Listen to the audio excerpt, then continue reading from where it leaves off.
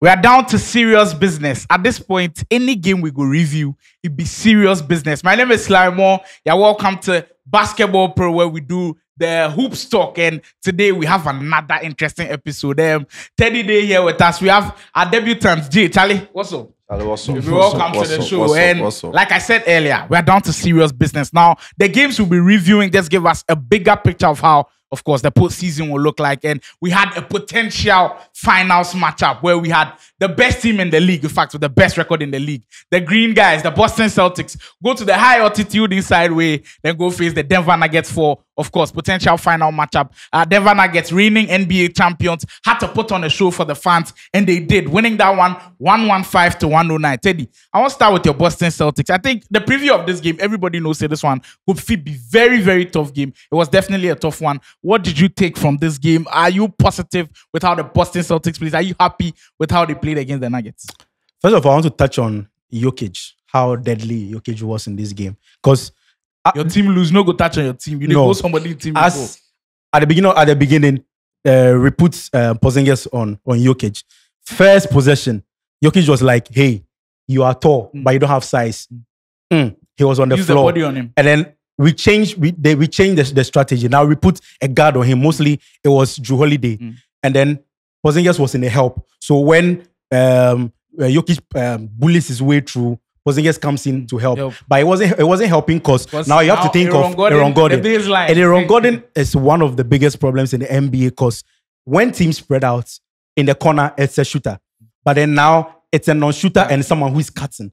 So you so when it's a shooter, you know when when I'm I'm I'm the help, I'm the help defender, I just close out. Mm. But for him, he's he's, cutting. coming, Whilst exactly. you are closing out, he's cutting. And he's already there. That's that's that's that's so you, you have to think of the center man and you have to think of Aaron Gordon. And then I will switch it up and then we put Tillman or Horford on on on Jokic, and I think it stabilized the game for A a, bit, bit. But still, he was still eating. That is, that is how that is how good Jokic is. Mm. Sometimes they um, NBA fanatics they they bash AD and Bede and all for for not being able to hold Jokic, but but, you cannot hold Jokic. Exactly. And this game was clear. And Murray, I think Murray over the years his greatness has been tied to Jokic. Anytime you mention Murray, you mention Jokic. But off the non-Jokic minutes in in this game, he showed us why he's he's one of the one of the best the players. He held the team, and then look the way he was playing. It was it was like come for me, and I'll show you what I can do. No less pick and rolls, more isos. We were just throwing. Celtics were just throwing bodies on him, bodies on him, and it wasn't working. Jaylen Brown. Every time Jaylen Brown starts a game in, in the first quarter and he plays well, we we are able to. He's able to elevate our game because he sets the pace for us. And in this game, I think some of the driving lanes that used to be around, Nuggets closed them, but then still he was bullying his way through, finding ways to get to the rim. And he started putting pressure on the rim early. And I like our um, Celtics um, shot selection because mostly I think we've been bashing them about how they only shoot threes. But in this game, when we when, when we when we started shooting the threes and it wasn't working, we went to our post. They Didn't went to his post game, and then we were attacking the rim every time, every time. And I want to give shout out to um, Watson Payton, Peyton Peyton Watson, amazing performance. Um, I think in the NBA, he's the second NBA player with most um, shot blocks behind um, Derrick White, which is amazing. And he's not even a starter. He's he's he's from, the, from the bench, bench. which is amazing. Look, he's he was put on. He was put on um, Porzingis. He did an amazing job. On he was put on Tatum. He did an amazing job, and he was the help defender and sometimes the tag man. And he's look. There's no way you are getting past that guy and you get an easy shot. Hey Teddy, I swear this was submission they shocked me. No, I because I wanted you to maybe touch on why the Celtics lost, but it seems like you are so overwhelmed by the Denver Nuggets. But first Yes. of all, let me let, let me go to Jay now. Bef- before this game, the Denver Nuggets, everybody knew okay, they're the best team in the league. But um, record-wise, is the Celtics. Do you think the Celtics give them much of a fight? If we get this potential matchup in a seven-game series, after what you've seen, are you convinced the Celtics will beat them? No, they can't. No way. No chance. No chance they can beat the Denver Why? Nuggets. Hmm. Denver is a Is, complete. is, it- is it team. so? Is it so overly hmm. reached? Like it's, it's, Oh, it's not it's, reaching. it's it's not so overly reached, but Denver is a complete team. Hmm. When you look at this team in the pick and roll, Jamal Murray and Nikola Jokic, Yeah. unstoppable. Aaron Gordon, cutting, lobs, blocks, defense, offense, coaching, Joe Mazzulla, True. he just came into the league. But, this, but but this game, Not- I think Aaron Gordon's ago. defense was questionable because Very, every very time Jaylen. Brown was on him, Jaylen Brown was I think like it was king. KCP and Watson covering him Ooh, most of the time. But go on, go ahead. But and, and especially with the Boston Celtics, something that you said, um, their shot selection. Very, very. It's very, very the whole season. It's been shaky because they depend so much on the third ball, right? So anytime they shoot below like thirty-two percent, they lose. You can check it. It's it's everywhere. Mm. This game they shot twenty-eight point nine percent mm. and they lost. Yeah. Tatum was like two of seven. Porzingis was like three of ten and they lost. So in the playoffs, things slow down. You need people who can be able to actually look at the defense, dissect, and know exactly what to do. That's what Jamal Murray and Jokic do. You can't stop Jokic.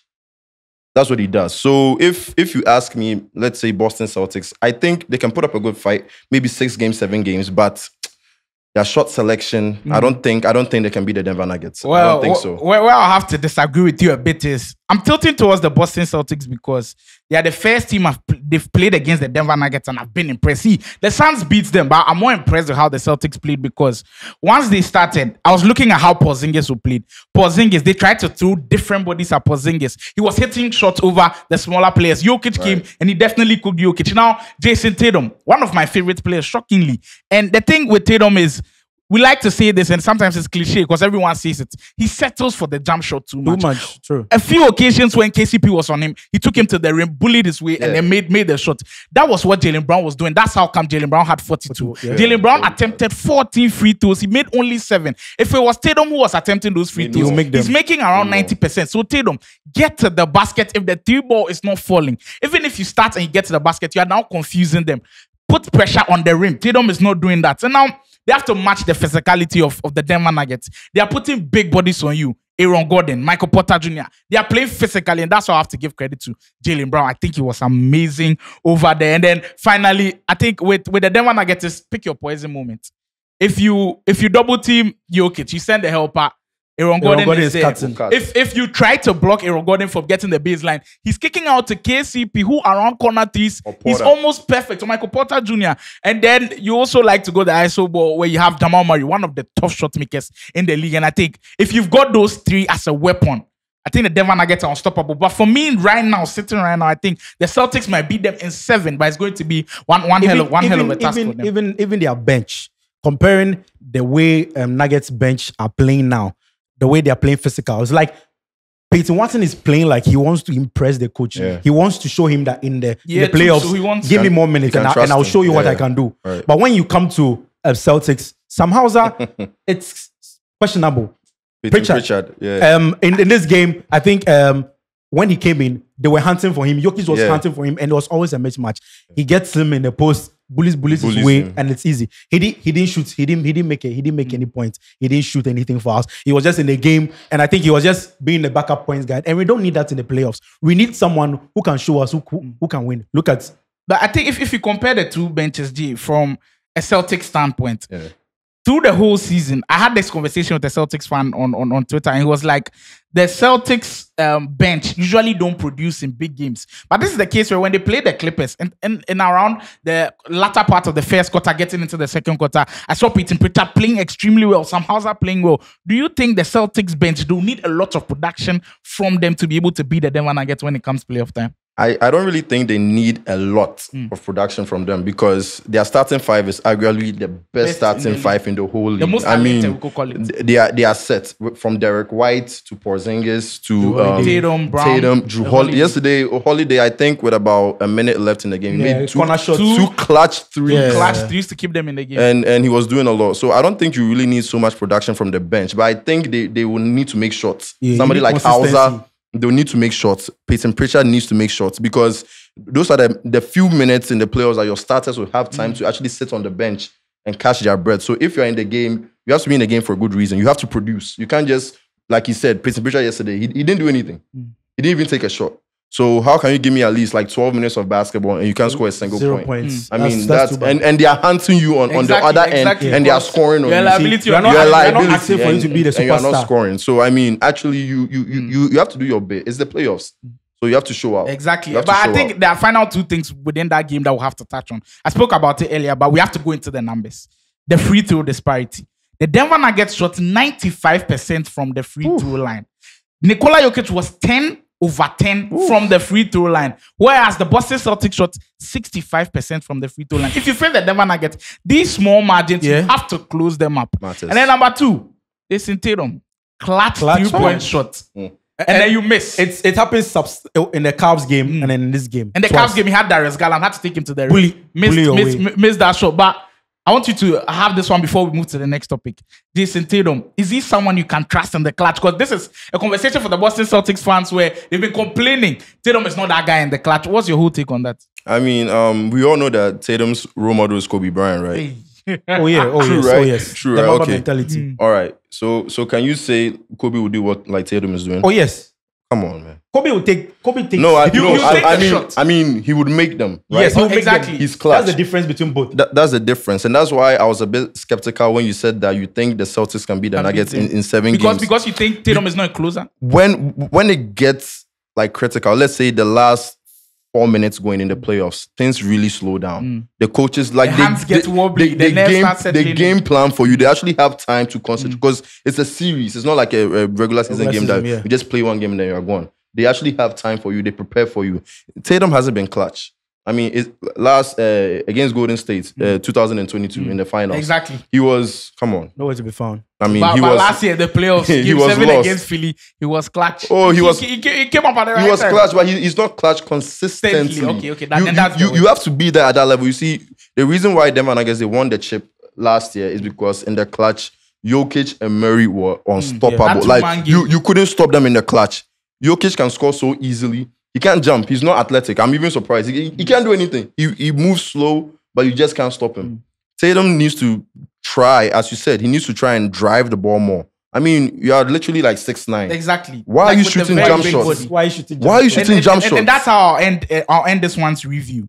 Jayson Tatum, one of those players that you feel has the potential to be the best player in the league, but in the clutch, where I feel like he has a problem is what is Jayson Tatum's go-to move? If you look at the best players in the league, Kawhi's go-to move is what the mid-range. Mid range. If it's the final shot, Ty Lue is drawing a mid-range. play for him to go into the mid-range. Mid-range. LeBron James, what is his go-to move? He's getting He's downhill, going to the basket. Jokic in the the- post, in he's the going to bury you. Stephen Curry from way downtown. We've got Kevin What's Durant in, identity as a in the mid-range. Yeah. So I think if he Even develops, DeRozan. Yesterday, if- DeRozan exactly. was- so if he yeah. develops a signature move, maybe that could be it for Jayson Tatum. But let's get to the second part of the show where this time it be agenda. Draymond Green on his podcast. on his podcast, so he say um, Wemby for no win defensive player of the year after all what Wemby has done. Um, around I think leading the league in blocks or something Yeah. like that. He's saying that with the record of the San Antonio Spurs, Wemby cannot win, or else we'll have to shift the goalpost for Jayson Just, Tatum to win MVP. Wow. What are the odds for Wemby winning? Do you think Wemby winning DPOY is more difficult than Tatum winning MVP? I think Wemby has a better chance of winning, mm. than Tatum because you see, I think this is an individual award, right? Yes. Mm. What he does when he's on the court, Mm. they're number one in defense. You know, in They're one of the best defensive Yes. teams. But when he's off, they are dead last Mm. in the whole league. Like- Like, they are terrible. And he's leading the league in, in blocks. I mean, you the, Yeah, you can't take drops- a- drops second. anything away from him. He's leading the league in blocks. Rebounds. He, he- rebounds. like he's everywhere. rebounds, yeah. Like he does so much for his team that you you you you, you can't say he doesn't deserve it because I think it's it's like um an, an individual award. You just have to give it to him. He's done so much. I think apart from him, I will think about Anthony Davis. They may be really. Rudy. No, Ru- Rudy before Anthony. I don't I don't really like Rudy Gobert, before. so I think I'm a, I'm gonna be biased on him. But Wow. yeah, yeah, yeah. I don't I don't I don't. I, I don't which, really which like one do you think is more difficult to comprehend? Tatum winning an MVP or Wemby winning the DPOY? Tatum this winning year? an MVP is, Yeah. is, is, is more difficult to More comprehend because let's say Embiid was still here. Clear, he, he would have been clearly. Hmm. But right the now, MVP. Embiid no Then dey. For Embiid sure. no Make- dey. make we and the stop the next, and the hypothetical. next person making the wait, making the, the kind of Mm, the kind of Jokic. points Jokic. that um Uh, Embiid is Embiid, making uh-huh. is Shai, Doncic, and then Jokic. Like the numbers. Yeah. 30, maybe 32 Giannis, points Giannis, per Giannis, game, 34 Giannis, points per Giannis game. has to be in. Like has, that's, but that's, Doncic- that's the next Doncic, yeah. that's the next person we can look to. You're on the you're on the best team. You are the best player on the, on the team. best team. But your numbers are we, we cannot we cannot say because you're on the best team and maybe you are given 25 points per game, we should take you over someone making uh, giving us 35 But points that, per that's game. that's that's where Draymond Green will be angry and Yes. come and see every year the narrative changes. It for the changes. MVP. Yeah. It This changes. year is for the best player on the best team. Next year is for the scoring leader. The other year is for As someone triple doubles or exactly, something. Yeah. exactly. So I think every year it changes. But personally, if you are looking at it closely, I think you guys are all right. Wemby winning DPOY, it's, it's not bad. But for Tatum winning MVP, that'll mm. take a huge It's- stretch. it's a reach. Beating, It's- beating Nikola Jokic. And I think He's not even got a clutch. lot He's the of dark fans horse. in the He's, media as he's, well. he's the dark horse. But what do you guys think in the comment section? Tatum for MVP or Wemby for DPOY? What do you think about the finals matchup as well? What has this told you? Has this told you that the Denver Nuggets are going to repeat or we are going to see the Boston Celtics? Maybe the Celtics will be praying that someone kicks out the Denver Nuggets before the NBA Yeah. finals. But that was it for NBA Pro today. I hope you enjoyed this video. Kindly subscribe to the channel. What did you wait for? You enjoy the sport content from Pro. Kindly hit the subscribe button so we all enjoy what we are bringing to you. Myself and the guys are out. We'll see you some other time for more basketball content.